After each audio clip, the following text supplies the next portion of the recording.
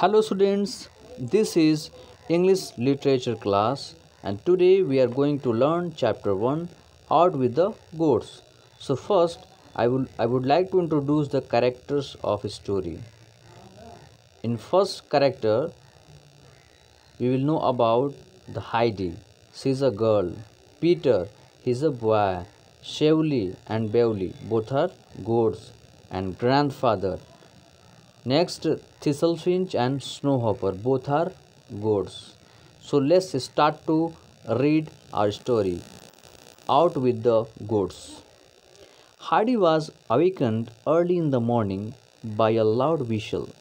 Jumping out of bed, she put on her things and ran outside. Peter, the goatherd, was already there with his flock, waiting for Shevli and Bewley. Heidi's grandfather was bringing them to join the other goats. Do you want to go with him to the pasture? Grandfather asked. Yes, cried Heidi, clapping her hand. They started merrily up the Alp. Heidi was wild with joy and ran from side to side.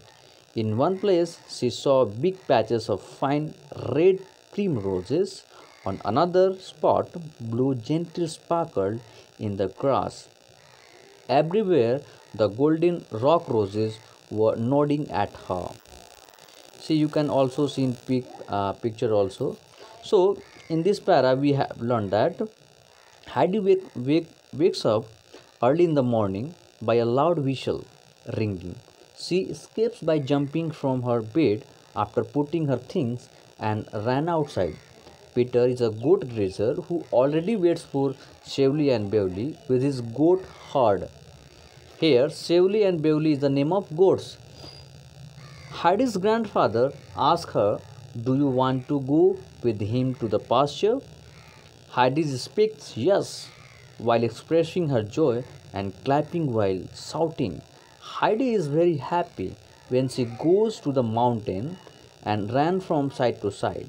At one place, she sees a collection of flowers where red primroses and gentle sparkle grass.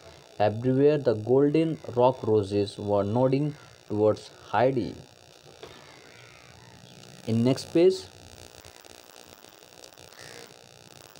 her, in her wild joy at finding such treasures, Heidi even got Peter and his goats.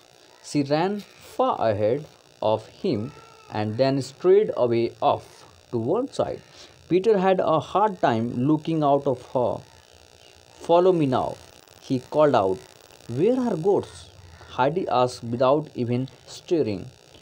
Way up there, and we have still far to go, he said. After they had reached their destination, the boy lay down on the sunny grass. Heidi was watching the goats and asked Peter for their names. Peter could tell them all to her. The one with the big horns was the big Turk. The bold Thistlefinch alone was not afraid of him. Snowhopper was a small white goat and kept bleating in the saddest way. All of a sudden, Peter jumped up and bounded after Thistlefinch, who had gone too far. Peter stumbled over a stone while trying to stop Thistlefinch from falling over the edge of the mountain. He was only able to catch the goat by one leg. Thistlefinch bleated loudly. Heidi saw the Peter could not get up and was calling for help. She quickly picked up some fragrant herb and hurled them under the animal's nose. The goat turned about and started eating the herbs from Heidi's hand. When Peter got to the, his feet, he led Thistlefinch back to the herd. Thus, the day passed, and the sun was already sinking down behind. The mountains, the peaks started to glow, and Heidi suddenly called to Peter, Look, everything is on fire. The mountains are burning, and the sky too. Oh, how beautiful the snow looks. So, when they returned to the hut, grandfather was waiting for them. Heidi told about him about the wonderful fire. The sun does it, he exclaimed. he throws his most beautiful rays to them. He wants that they should not forget him till the morning. This is his way of saying good nights to the mountains.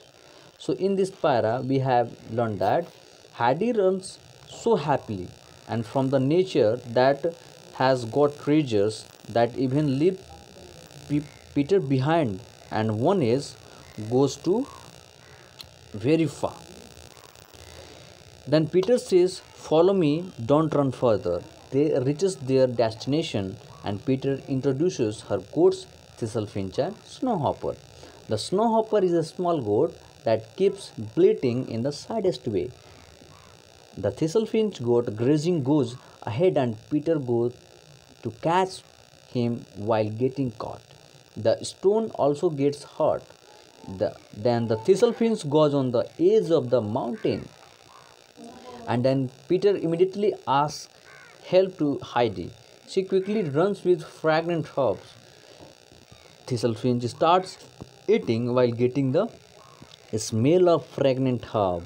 Then Peter grabs her leg and pulls her upward the Thistlefinch back to the herd. It seems to be evening. Suddenly Heidi called Peter and said, Look, everything is on fire. This is a very panoramic view. In this way, they return and grandfather wait for, waits for them. Heidi tells grandfather about the wonderful fire. She thinks that sun had spread the most beautiful rays on them.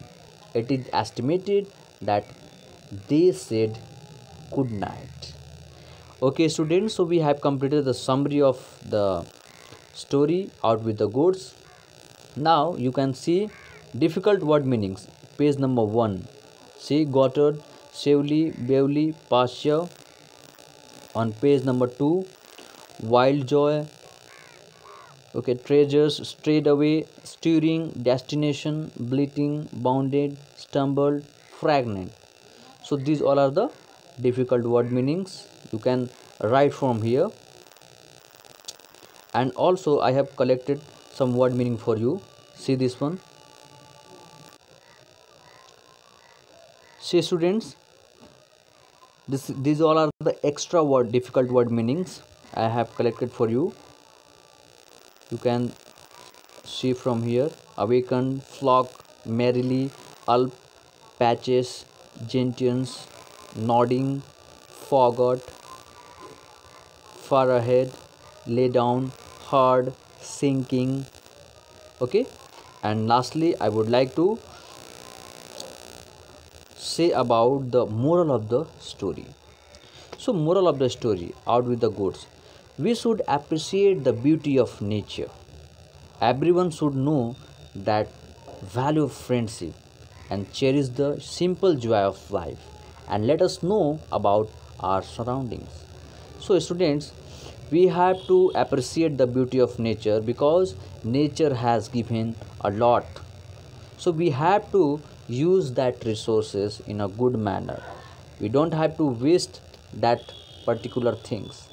And i know everyone have friend and you have to talk with your friend in a good way and uh, never quarrel each other. And simple joy of life is uh, live happy and leave others happy. Okay students thank you